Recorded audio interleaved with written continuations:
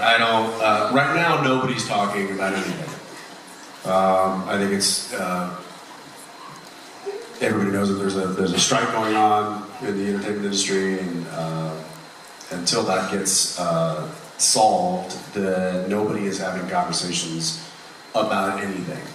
Um, people are having conversations in house, but um, those are not those aren't necessarily conversations that are being talked about uh, outside. So, uh, would it, would I entertain the the idea of playing my favorite superhero of all time? Nah, I'm good. It seems like a lot of work. You know, got to put on a, a whole that suit and be a superhero.